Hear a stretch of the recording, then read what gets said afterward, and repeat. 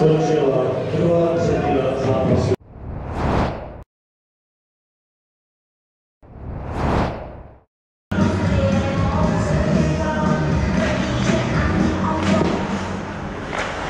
Čas 41, 44.